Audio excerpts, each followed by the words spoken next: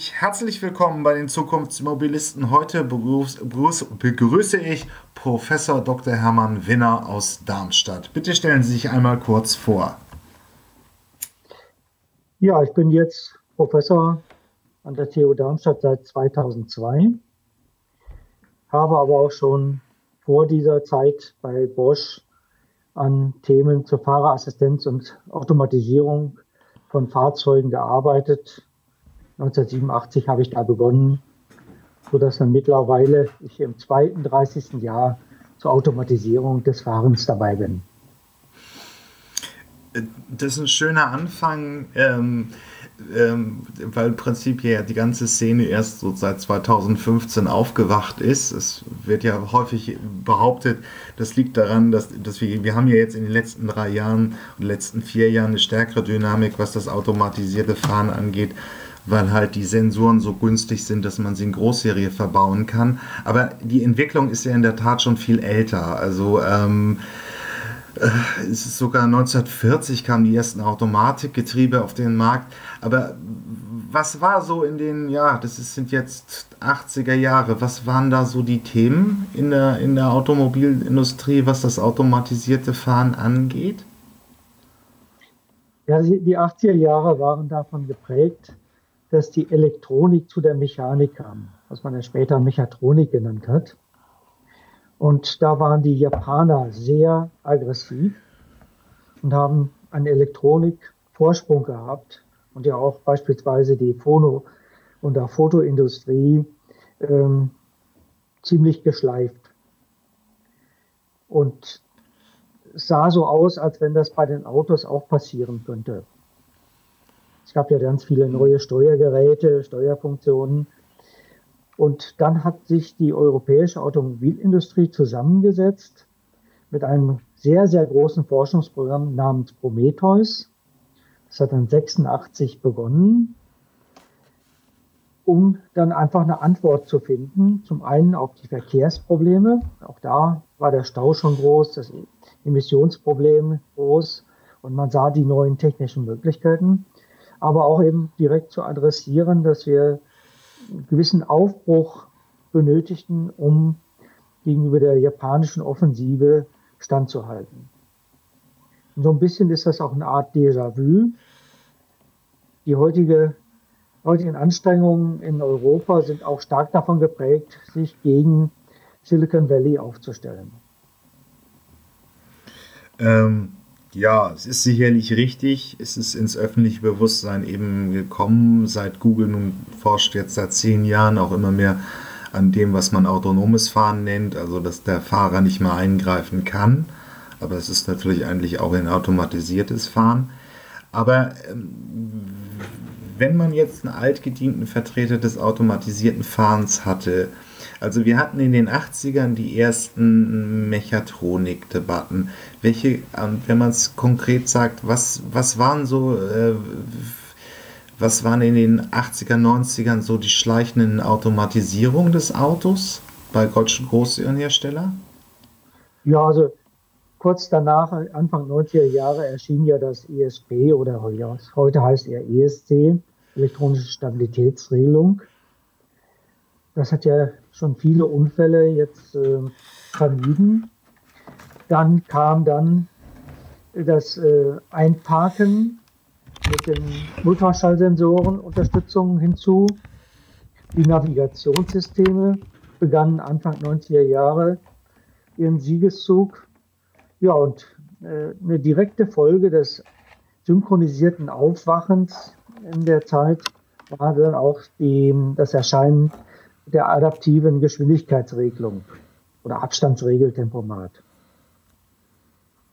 Und das war so die ersten Produkte. Dann kam auch das äh, Lane Keeping dazu und die ganze Armada der Fahrerassistenzfunktionen, die dann bis 2010 dann alle ausgerollt wurden. Ähm, ja, ähm, war es eigentlich damals auch schon von der Kundenseite ein, ein großes Argument? Also haben die Autohersteller es gefordert, weil die Kunden es haben wollten? Das war eher schwer abzuschätzen. Eine Funktion, die man sich nur schwer vorstellen kann, auch äh, nicht geeignet ist, zu sehen, wie ist die Kundenreaktion darauf. Naja, weil es jetzt, es wird ja immer häufig ähm, noch so ein bisschen als Technik, Technologiethema diskutiert, was es wahrscheinlich auch ist. Aber äh, die, die Deutschen geben heute schon 4.500 Euro im Neuwagen für Automatisierungstechnik aus. Das waren 2003 noch 900, also es ist ein relativ großer Zuwachs. Also es ist eine Marktakzeptanz gekommen. Ähm, stellt sich halt die Frage, war es früher anders oder wird es auch heute von der Industrie gefordert, weil es einfach vom Kunden verlangt wird? Manchmal braucht man Zufälle. Beim ESP hat sehr, sehr stark geholfen, dass in Schweden eine A-Klasse umgestürzt wurde. Okay. Mhm. Hat es gerade noch abgefangen, aber damit musste Daimler damals ähm, das ISP serienmäßig bringen. Das hat wieder andere Fahrzeughersteller äh, mit motiviert, das viel schneller in die äh, Marktsättigung reinzubringen, wie es vorher bei ABS war. Zwei, drei in doppelter Geschwindigkeit. Ähm, Sonst wäre das vermutlich ja. auch eher langsam passiert. Ähm, Bei äh, Adaptive Cruise Control, also der adaptiven Fahrgeschwindigkeitsregelung, hat es sehr lange gedauert, bis man so über den 10%-Bereich mal hinweggekommen ist. Aber dadurch, dass dann auch von, dem, von der Neuwagenbewertung von Euro NCAP die Notbremsfunktion so viele Punkte bekommen hat, war es dann plötzlich ein Riesenschwung, dass Radartechnik von Hunderttausenden pro Jahr plötzlich in Bereiche von 10 Millionen pro Jahr gekommen ist. Das heißt, oft sind es solche Zufälle, die nachher die großen Sprünge in der Marktakzeptanz machen. Ähm, für unsere jüngeren Podcast-Hörer, das nannte man Elchtest, war ein kleineres Problem für Daimler in den 90ern weil man halt wirklich seine A-Klasse beim Ausweichen mit 80 auf der Landstraße vor einem Elch eben zum fast zum Umkippen brachte, weil halt die Achsgeometrie ein bisschen scharf war. Und das hat man dem ESP etwas äh, einfach ändern können.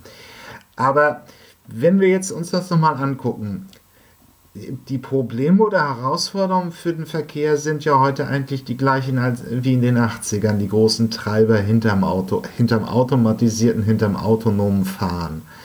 Ähm, also der Stau ist ein Problem, die Verkehrssteuerung wird weltweit äh, gefordert, weil, weil in den Städten es wirklich schwierig ist, gerade in den großen Megapolen in, in, der, in, in Schwellennationen. Ähm, dieses Umweltproblem ist gravierender, praktisch nicht wirklich gelöst. Ähm, und eben es, es verspricht eben eine Kostenreduktion. Die, die, die, die Ausgangslage ist heute relativ ähnlich zu den 80er Jahren, oder? Ja, wobei man sich heute schon freuen würde, wenn man die Ausgangslage der 80er Jahre noch hätte von der äh, Problemseite. Es ist eher schlimmer geworden. Ja, wir haben mehr Fahrzeuge bekommen. Und woran man das sehr schön sehen kann, ist im, im Bereich des äh, ruhenden Verkehrs, sprich Parkplatzsituation. Mhm. Das ist ja heute das Hauptargument eigentlich gegen den Besitz eines Fahrzeugs. Aber das war damals nicht annähernd so stark vertreten. Äh, ähm, also gerade in Großstädten oder die, die, der Verkehrsinfarkt in Großstädten. Aber was sind jetzt die wirklich was ist jetzt gegenwärtig, wenn wir jetzt ins Jahr 2019 springen, was sind die großen zentralen Treiber hinter dem automatisierten Fahren?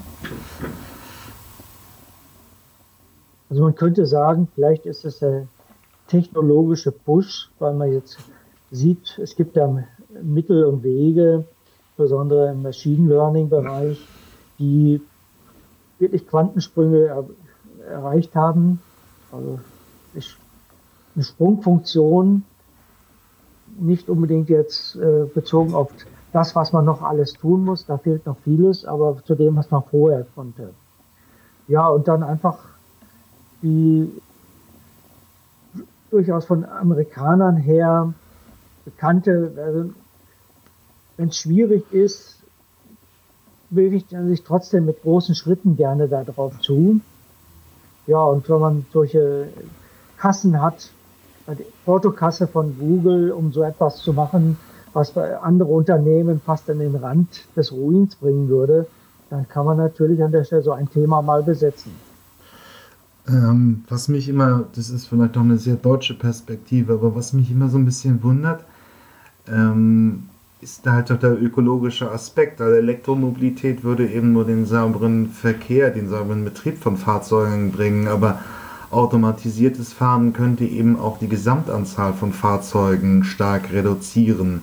Ist der Ökologie für Sie kein Treiber, den Sie so bei den Akteuren wahrnehmen oder weniger oder ist es nur einfach in der Kommunikation noch nicht rübergekommen? Also wenn ich weiß, meine Milliarden, wenn ich sie hätte, für Ökologie einsetzen würde, ja. nicht unbedingt jetzt bei autonomen Fahrzeugen anfangen. Da gibt es andere Dinge, die direkt daraus Wirkung hätten. Da könnte man wirklich im Bereich der Regenwälder gehen und ähnliche Dinge.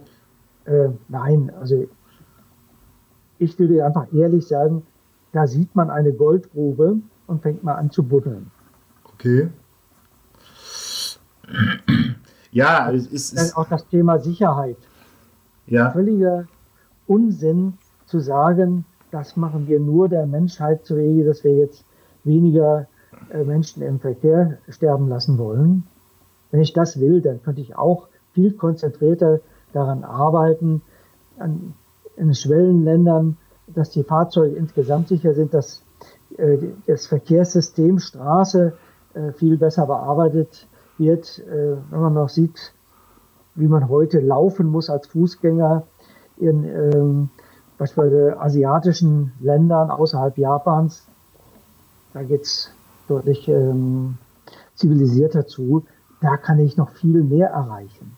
Also Sie meinen mit viel, äh, viel weniger Mitteln viel größere Effekte erzielen? Ja, ja, eindeutig. Aber es wird, es wird uns ja so verkauft. Es sei, also, wie, wie Sie sagen, es wird so verkauft. Weil, weil im Prinzip ist ja wirklich, äh, ich, ich kenne hier Hochrechnung, die verspricht eben, dass 90 Prozent äh, der, der Verkehrstoten wegfallen ähm, weil eben der menschliche Fehler im autonomen, im automatisierten Fahren ausgenommen wird. Also zu schnell, betrunken, äh, unaufmerksam und so weiter. Die Fehler sind dann weg. Aber für Sie wäre das nicht so unbedingt so ein wahnsinnig zentraler Faktor. Nein, das ist ein vorgeschobener äh, Faktor, der auch sich gut verkaufen lässt und ein bisschen davon ablenkt, dass man sonst fragen würde, ist es denn sicher genug, wenn ich in Verkehr bringen würde? dann würde natürlich als erst die Angst hochkommen. Um diese Angst dann an der Stelle im Vorfeld gleich zu mindern, sagt man, ja, mit denen wird alles sicherer. Okay. Ähm, aber also im Prinzip ist, skizzieren Sie jetzt so den Treiber, dass das ein, ein sehr lukrativer Investitionsmarkt für die amerikanischen Tech-Giganten ist. Bietet es nicht auch irgendwo auf einer gesamtwirtschaftlichen Ebene massives Einsparungspotenzial? Grundsätzlich ja. Also wenn ihr jetzt sich traut, mal so 20 Jahre weiter zu denken und was könnte man damit alles machen, dann stellt sich beispielsweise die Frage einfach, wenn ich ein Fahrzeug 24 Stunden abzüglich meinetwegen Ladezeiten äh, sieben Tage die Woche nutzen kann, also sagen wir mal einfach 50 Prozent der Zeit netto im Vergleich zu den 10 Prozent der Zeit, die heute da sind, dann kann ich die gleiche Verkehrsleistung fünfmal schneller erbringen von der Gesamtzeit her. Das heißt, die Verkehrsleistung, die ich in einem Auto mit, das zehn Jahre alt wird, habe ich in zwei Jahren erbracht in zwei Jahren. Jo, hier ist das Ende erreicht diese Episode aus der Podcast-Reihe Die Zukunftsversion. Hier endet der freie Teil. Weiter geht's auf meinen Webseiten ähm, elektroauto.org slash Zukunftsmobilisten oder ähm, automatisiertes Auto.de slash Zukunftsmobilisten.